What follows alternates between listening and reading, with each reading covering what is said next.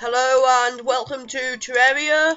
Uh, today we are doing pre-hard mode class battles. Today it is Mage versus Eye of Cthulhu. This is how it's going to go. Three, two, one, go. Bring it on. Eye.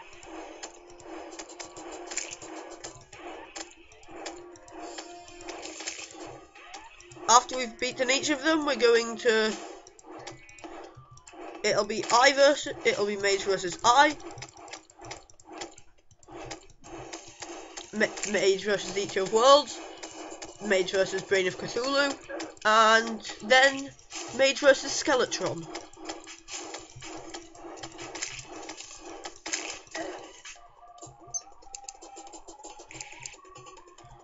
As you can see, the mage is good for long range and is relatively mobile.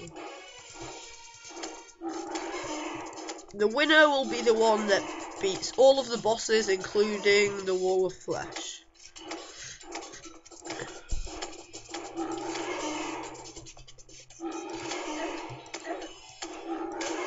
And yes, I am using inventory editors to get these stuff to, for the battle and after the battle I will show you what I have used. The Muramasa is in here because there we go. The Eye of Cthulhu has been beaten. Now I will show you what items we are using. We're using the Jungle Hat, which increases the mana, and we're using the the only difference is that we're using the Diamond Robe instead of the the jungle chestplate. We are also using we're using the jungle greaves and you can see how the mage is finishing off normal enemies pretty easily here. Most of his weapons are one shot.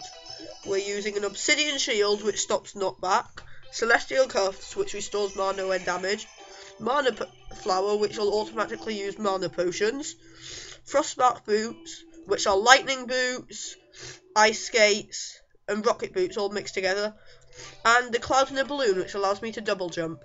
Our weapons are a flame lash, which summons a controllable ball of fire, and a fire of flower, which throws bouncing balls of fire.